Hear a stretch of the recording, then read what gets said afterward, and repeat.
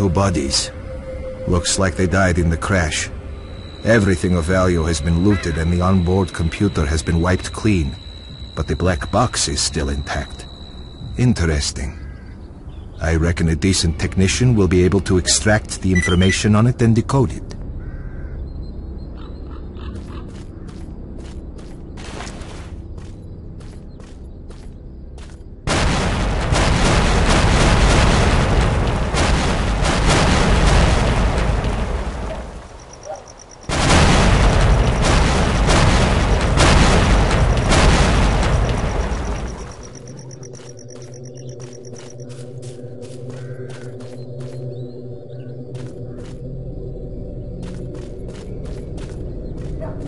Thank you.